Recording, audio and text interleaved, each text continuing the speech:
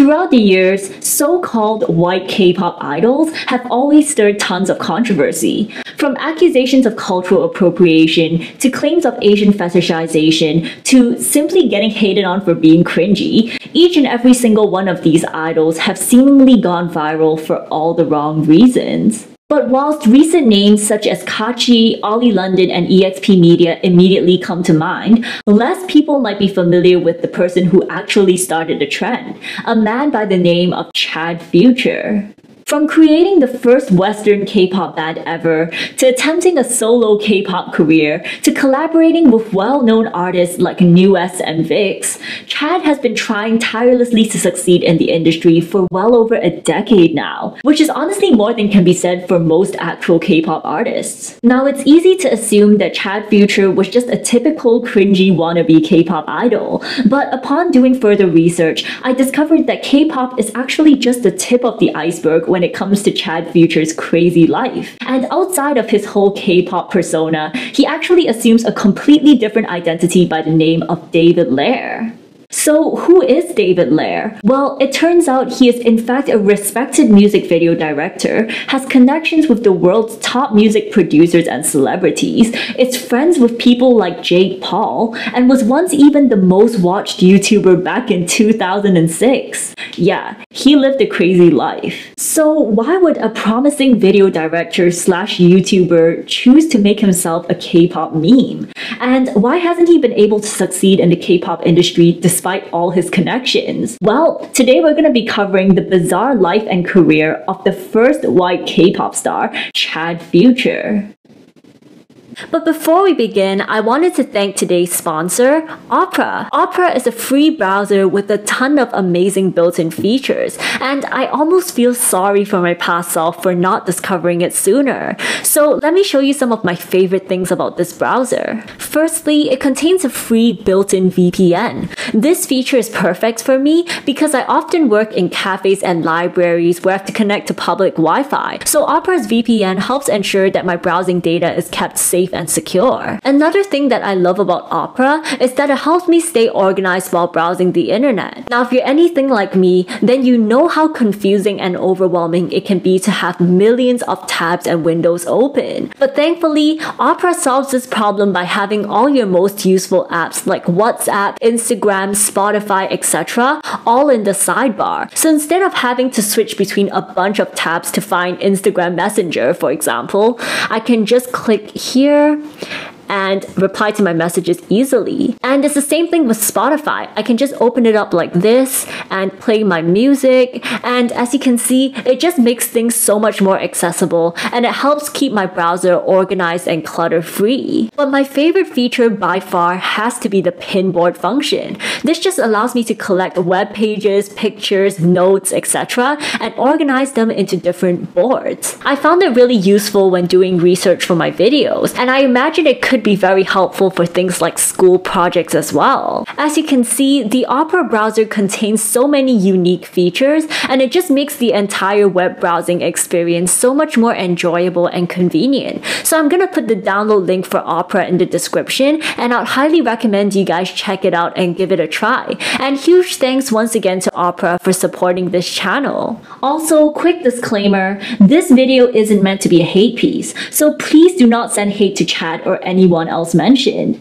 And I also wanted to clarify that whenever I use the words white K-pop idols in quotation marks, I'm not referring to all white people who pursue K-pop. I actually talked about this more towards the end of this video, but I'm sure there are a lot of really hardworking white people who are actually, you know, training hard, trying to prepare for their debut, and I'm definitely not referring to them when I use the quotation marks. So I just wanted to clarify that, and yeah, with all that out of the way, let's jump straight into it.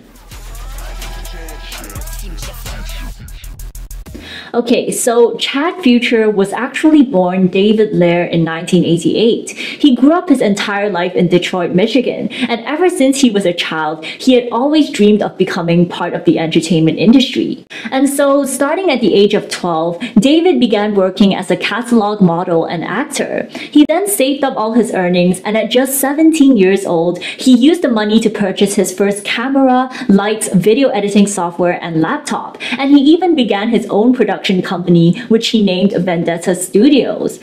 This was really when David discovered his talent for video editing and directing, and the company would eventually go on to film music videos for famous singers like Alyson Stoner and Agnez Mo. Additionally, it was also around this time that David began filming and editing short skits of himself and his friends, making him essentially an early version of a content creator. And the Matrix Scrubber is so easy, you can clean up just about anything, anywhere, Hey, anytime. I don't think that Matrix thing works very good.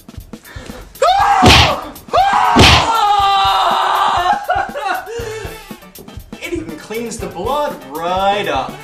Initially, David uploaded these videos to his own website, davidlehre.com, where he amassed a small but loyal following. However, his big break came in 2006 when one of these videos, titled MySpace the Movie, got re uploaded onto YouTube, and it went absolutely viral. I gotta show you a really, really hot girl on MySpace. Let's do it. Okay. Look, huh?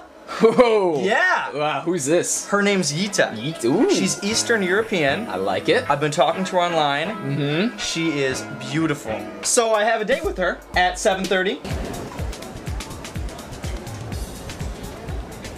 Are you Dave? Yeah. Are you Yita? No. That girl at the bar wants to talk to you.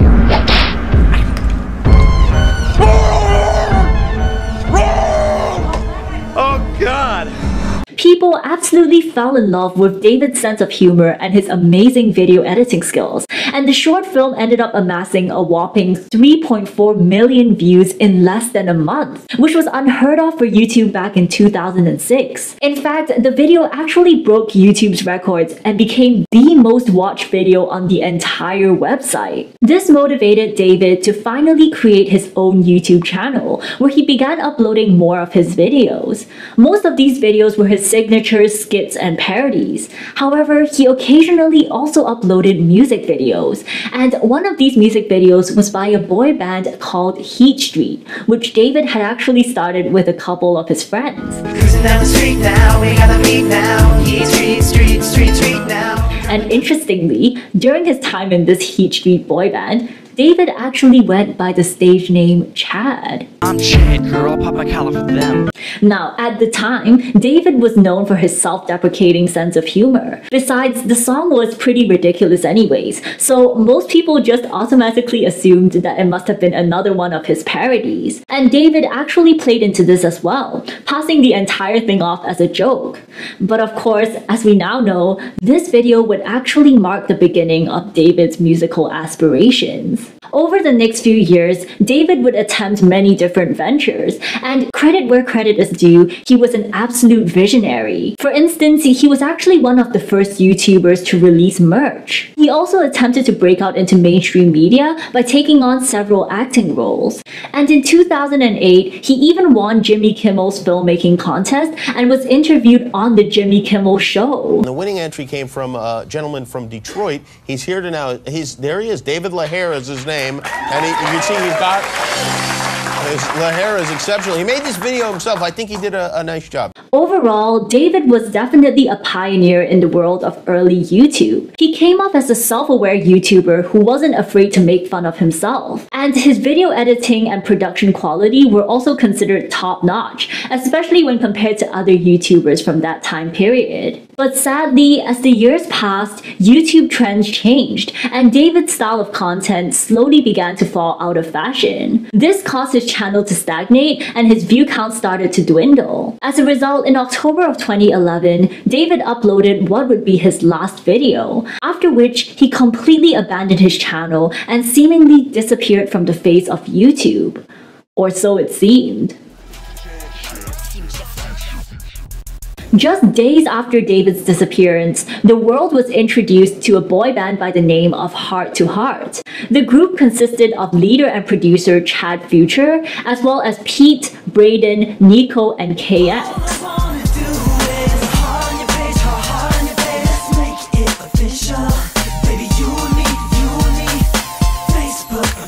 In their debut song, Facebook Official, the group, which consisted of five non Asian men, shocked the world by dressing in stereotypical K pop clothing and makeup, as they sang questionable lyrics such as, Girl, you're so fine. Your picture is so hot. I am thinking dirty thoughts. The music video unsurprisingly went viral, and Heart to Heart quickly became the laughing stock of the internet. The initial knee jerk reaction for most people was to laugh at the group's cringy facial expressions and styling, with many even calling them the second Rebecca Black. But on the flip side, the video was also so unbelievably cringy that many people assumed it must have been some sort of joke. People then began speculating that perhaps Heart to Heart was intentionally trying to mock and parody the K-pop genre. This then led to the group facing backlash for supposedly disrespecting Asian artists, with some going as far as to accuse the group of racism. It's so disrespectful how they're making fun of K-pop idols, one person said. The way that they're mocking Asian pop music is honestly borderline racist, another person commented. Getting cancelled for racism couldn't have been fun, but what was perhaps even more tragic was the fact that this group was never even supposed to be a parody in the first place, and the entire thing had in fact been a genuine effort. It was at this moment that he knew. He fucked up. See, the group had in fact been created by their leader, Chad Future, who was in fact David Lehre. It turns out David had actually fallen in love with K-pop back in 2009 after watching music videos from groups like 2NE1 and Big Bang. In his own words, I really identified with it a lot, with the style, with the sound, the wardrobe, the videos. Pretty much every aspect of K-pop was really my style. As David's love for K-pop grew, something in him seemed to snap, and the once self-aware YouTuber suddenly became convinced that he had what it took to become an idol. This was when he remembered his boy band Heat Street from years ago. Remember that? Well, he figured he could just bring that idea back but add more of a K-pop twist to it, and that was how Heart to Heart was born. David also drew inspiration from his Heat Street stage name, Chad, and modified it to Chad Future. And with this name change came a complete transformation in his style and general demeanor. He began experimenting with weird hairstyles and dressing in a way that resembled the stereotypical 2010s K-pop aesthetic. He also exchanged his sarcastic and self-deprecating sense of humor for a much more family-friendly, idol-like image, occasionally even doing things like Aegyo. And to top it all off, he even managed to get himself a Korean girlfriend who he was in a relationship with for two years. By the end of his transformation, Chad Future and David Lehre looked and acted like two completely different people. And it's honestly no surprise that even up till today, many people still have no idea that they were in fact the same individual. But he wasn't the only member of Heart to Heart who was unrecognizable, because unbeknownst to everyone, it turns out there were actually a few other members of the group who were also big names in the entertainment industry. The lead vocalist Pete, for instance, was in fact Logan Paul. He wasn't Logan Paul, but they look so similar. Am I the only one who's seeing it? Okay, but Pete was actually Cody Saintgnue, who's an actor you may recognize from shows like Teen Wolf, Criminal Minds, and House. There was also the rapper Brayden, who is in fact Colby Coate, a respected director who has worked on TV shows like The Biggest Loser and Lip Sync Battle. And the main dancer, KX, is in fact Kai McMinn, who is actually now a famous Twitch streamer. None of these members have ever acknowledged their time in Heart to Heart for obvious reasons. And I guess in the end, the horrendous makeup and styling actually turned out to be a blessing because even today, nobody seems to recognize them from their time in the group. But if the member lineup wasn't already crazy enough, Heart to Heart's music video actually also featured cameos from even more celebrities, such as NSYNC member Lance Bass and famous YouTubers like Blair Fowler and Bethany Mota. And the most impressive thing is that all of this was single-handedly put together by Chad Future, aka David Lehre. He had apparently been responsible for recruiting everyone involved, and I have to say, it's actually crazy how he was able to convince so many famous people to basically put their reputations on the line for his K-pop dream. Unfortunately though, it seemed even the star-studded lineup couldn't save Heart to Heart from their disastrous song, and the group ended up disbanding just shortly after their debut. But Chad's efforts weren't completely in vain, because it turns out the music video had actually caught the attention of Drew Scott, a renowned producer who worked with famous K-pop groups like Girls' Generation, TVXQ, and SHINee. Drew reportedly reached out to Chad, and the two quickly became close friends. This friendship would turn out to be extremely beneficial for Chad because Drew introduced him to a bunch of important contacts within the Korean entertainment industry, and this would pretty much go on to explain how Chad secured all his opportunities throughout the rest of his K-pop career. In 2012, Chad returned to the music scene as a solo artist. This time, he claimed that he was going to bridge the gap between American pop and Korean pop by creating a whole new genre, which he creatively named American Korean Pop. He then created a new YouTube channel for his Chad Future persona, and he began uploading these hilarious inspirational videos where he would portray himself as some sort of trendsetter or pioneer who was going to completely revolutionize the entire entertainment industry. It takes someone to stand up for what they believe in, a new idea, a new concept, to really change the world. Once the people see one person actually do it, then it becomes real. Finally, in August that year, Chad made his official debut with the songs Hello,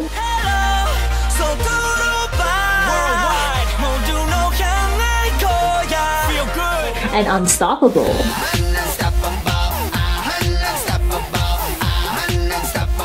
These songs weren't really much better than Facebook Official, and he unsurprisingly got memed on once again by viewers. But despite the lackluster response, Chad somehow managed to use his connections to get himself invited to huge events like KCON, where he performed to a very confused audience. During this time, Chad Future also began uploading English covers of popular K-pop songs on his YouTube channel.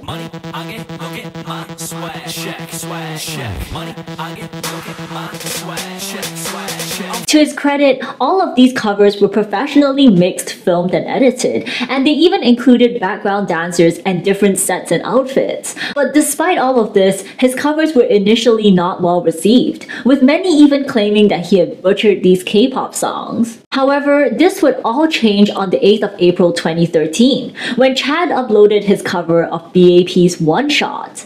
Unlike his previous solo covers, this time he actually invited his friend Drew Scott, as well as another singer by the name of Jeremy Thurber to join him. And let's just say, Drew and Jeremy absolutely slayed in the vocal department.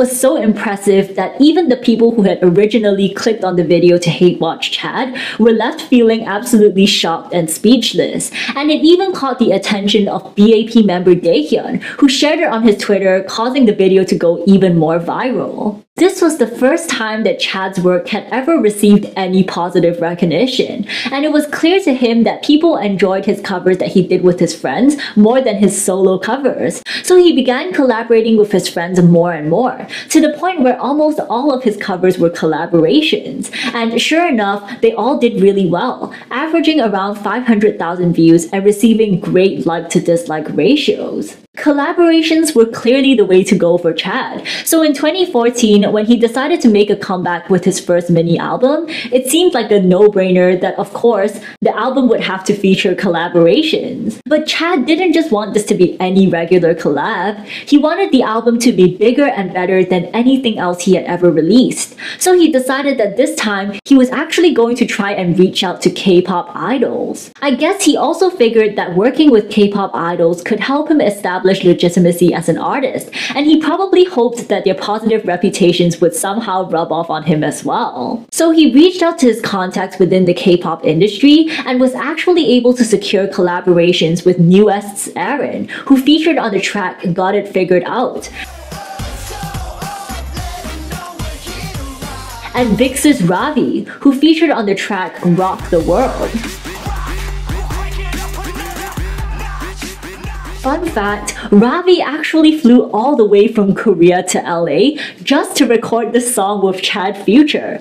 If that isn't proof that Chad had some crazy connections, then I don't know what is. And then in 2015, he came back with his second album, which featured yet more collaborations with top K-pop idols and industry professionals. The album was apparently produced by Shin Hyuk, a renowned composer who has worked with groups like NCT and Monsta X. And the track list included songs such as So Good, which featured BESTie's UJi, and Famous, which featured Ha Sung Woon. Just as Chad had hoped, all of these songs were relatively well received, and the music video that he filmed with VIXX's Ravi even managed to break 1 million views. On the surface, it seemed like things were finally going smoothly for Chad. Ever since he started doing collabs, his work had been receiving positive feedback. People now liked his K-pop covers and they liked his songs, so surely that meant that they liked him too, right? I mean, surely by this point, after so many good releases, he had finally earned the respect of the K-pop community, right? Well, this is where things get juicy. It seemed Chad had become over reliant on collaborations to get him by, and upon looking at his comment section, it becomes apparent that every single person Chad had ever collaborated with somehow managed to outshine him in his own videos. In the K-pop covers that he did with his friends, his friends were the ones who mostly carried the songs, taking on all the high notes and the hard parts, whereas Chad mostly just stuck to doing his mediocre raps and sang all the easy lines. Viewers seem to have noticed this, and most of the positive comments Chad was getting on these videos were actually directed towards his friends rather than himself. But things get even worse when looking at Chad's collaborations with K-pop idols. Although he had originally collaborated with these idols to prove his legitimacy, the plan seemed to have backfired on him. Instead of arousing feelings of awe and respect, fans were mostly just confused that these idols were even willing to work with him in the first place, with some of them even making jokes that the idols must have been held hostage. Additionally, many of the top comments were saying hurtful things along the lines of how the song would have been better without Chad, how the K-pop idol was the only thing saving the song, and how they were only watching this video purely to support the idol. There were even commenters who posted timestamps to the idol's parts in the songs just so that they could skip Chad's verses altogether. I mean, it was blatantly obvious that all the likes and views that Chad had been receiving this entire time weren't actually directed at him, but rather at the people that he featured. And this was further proven by the fact that on the rare occasions where Chad would upload a solo song or cover, they would only receive a fraction of the views compared to his collaborations. People also didn't seem to be very interested in his personal life, with most of his behind the scenes and Q&A videos barely getting any views. In 2016, Chad actually released a documentary showing how he went to Korea to prepare for his second album. The documentary series was professionally filmed and advertised across multiple TV stations in America. Yet, despite all of this, most of the episodes couldn't even crack 11,000 views. Though I guess that was actually a good thing because he was being kind of disrespectful throughout his time in Korea. Do this, stand there, and I'm like, I'm like, is this okay? It's no problem. No problem. No? Shut up and jump. I hope the wind or hurt. It was actually during the filming of this documentary that Chad seemed to have come to the realization that despite all his efforts and despite all the time and money he had put in throughout the years, he still hadn't been able to gain the acceptance of the K-pop community. And this made Chad feel burnt out. He didn't know where to go from here, and the negative comments were clearly starting to get to him. During the last episode of the series, Chad seemed lost and unsure of whether he even wanted to continue learning Korean, which was definitely a huge change in attitude compared to his early inspirational videos. So now I need to decide do I want to continue my Korean language studies for the rest of my life or do I not? Well, the answer was he didn't. In June of 2016, Chad made a video announcing that he was finally going to be giving up on K-pop. The video was unfortunately taken down before I had the chance to watch it, but according to comments, he apparently claimed that he was going to be debuting in a new American boy band. However, nothing ended up coming out of this, and it was after this video that he seemingly abandoned his Chad Future persona and channel completely. Instead, he suddenly went back to posting as David Lehre again, uploading comedy sketches, reaction videos, and parodies just like he had done years ago. He also began focusing more on his video directing career, filming music videos for big artists like Lil Pump. He even became friends with Jake Paul, of all people, and he helped Jake and the Team 10 House film several vlogs and music videos. Fans of David Lehre were both surprised and happy to see him back on YouTube. Many of them, who were obviously unaware of his Chad Future phase, assumed that he had left the internet back in 2011, and they really missed him, so they were just glad to see that he was finally uploading videos again. Meanwhile, K-pop fans were also celebrating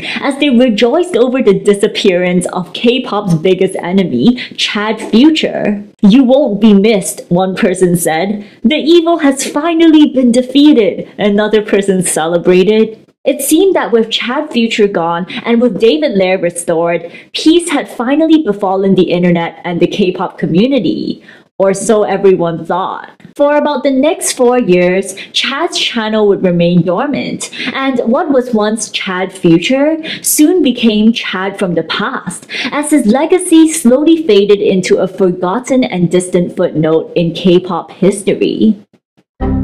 I used to live in Korea. I was living there for one year. However, the issue of Koreaboos and wannabe K-pop idols was anything but forgotten. In fact, it was during this period of time that the K-pop community experienced perhaps the biggest surge of white K-pop idols they had ever seen. From EXP Media to Kaachi to Oli London, these people were coming out of the woodwork, and many of them were arguably much more extreme and controversial than even Chad Future himself. Oli London in particular was definitely the worst offender of them all, getting hundreds and thousands of dollars worth of plastic surgery to look Korean and even making claims that he was transracial. I'm Korean, you know, people need to accept that. He definitely pushed the limits of what was considered controversial to new heights, so much so that by the time Chad Future made his unexpected return in late 2021, he was barely even considered scandalous anymore.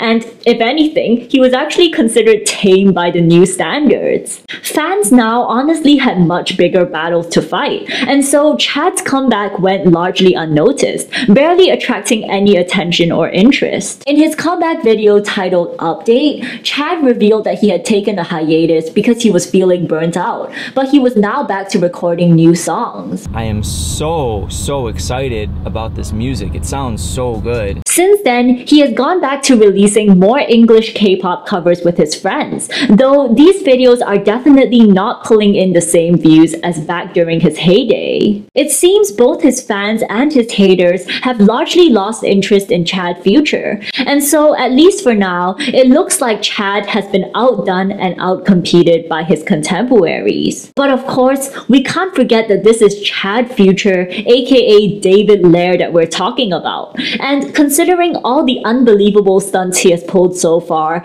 there's really no saying what he will do next. Will he have another viral video? Will he come up with another crazy idea? Will he be able to reclaim the throne as the most controversial white K-pop idol? I guess only time will tell. I honestly just find this entire story so baffling and I have so many thoughts. I guess firstly, I just find it difficult to comprehend how David Lehre and Chad Future could be the same person.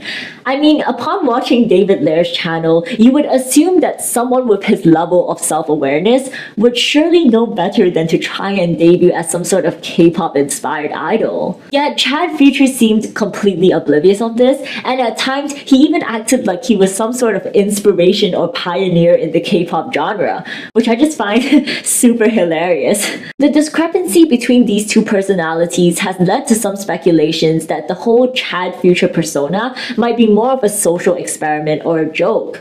But considering how much money and time he invests in his music videos, I, I highly doubt that this is a joke and I think that he actually takes this seriously. And I guess this leads to the bigger question of whether white people can ever become legitimate K-pop idols. I actually spoke to several of my Korean and other Asian friends about this, and we all basically had the same conclusion, which is that none of us had a problem with it. I guess the issue at the moment is that most of the so-called white K-pop idols that we've seen so far haven't actually gone through the K-pop training process and their skills simply do not match up to actual K-pop idols. And I kind of feel like that problem applies to Chad Future as well. Like, to be fair, I don't think he's the worst rapper out there, and he actually does have quite a few decent covers and songs. But considering his lack of singing and dancing skills, as well as his inability to speak fluent Korean, We're both like Jurchin. We're Jurchin. I just don't see him measuring up to the standard of most K-pop idols today. But anyways, those are just my thoughts on Chad Future and the whole issue of white K-pop idols. And I'm honestly interested to know what you guys think. Let me know your opinions in the comments section down below. And if you enjoyed this video, then be sure to give it a thumbs up and subscribe. And with all that said, I'll see you guys next time. Bye!